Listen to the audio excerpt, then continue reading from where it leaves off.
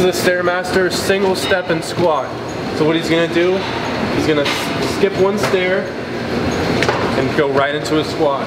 It's very important on this exercise that you have the Stairmaster on a low level, anything between one and two. So skipping one, right into that squat. Perfect.